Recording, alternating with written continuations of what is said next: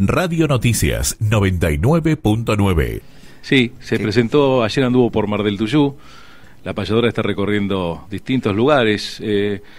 no le gustan los teatros tan grandes o lugares tan grandes, me parece. El comedor de campo del hornero tiene una característica de una capacidad de 60, 70 personas, lo que es el lugar de adentro, así que va a ser con entrada libre y gratuita y por orden de llegada.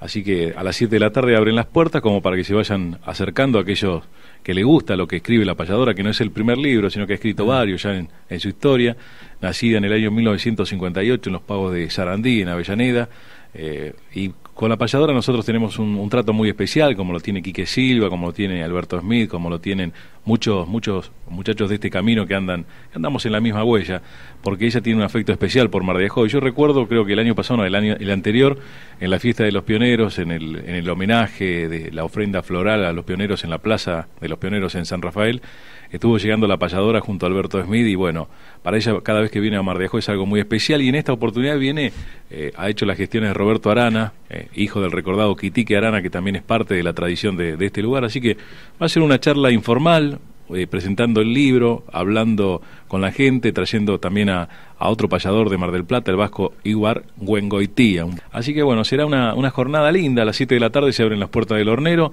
y seguramente el que quiera comer algo, alguna empanadita, alguna entradita y demás, la gente organizadora que es la del hornero, eh,